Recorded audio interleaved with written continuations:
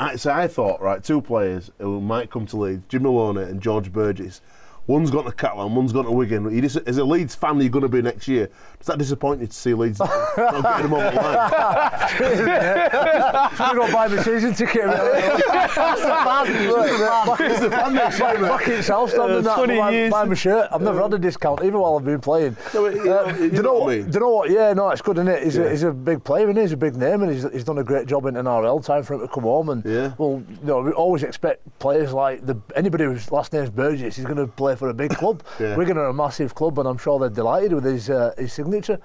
Yeah, but he, I'm saying he disappointed he didn't, he's not going to Leeds. um, that's my, that's my mate, question. Yeah, listen, I think most people would have a Burgess in their side, wouldn't they? But ultimately, he's chose to go to Wigan, and all the very best to him.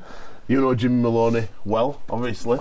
He's uh, what kind of player? Because I don't think people realise he's the current Origin Blues half. Yeah. He is the best in that comp and he's signed at Catalan.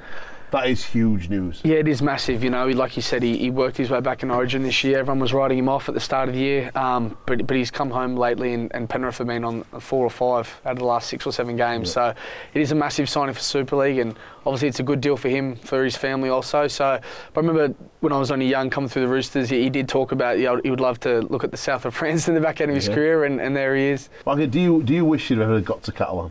Oh yeah. You've been you've yeah, I had an approach. Villeneuve wanted uh, me one bit.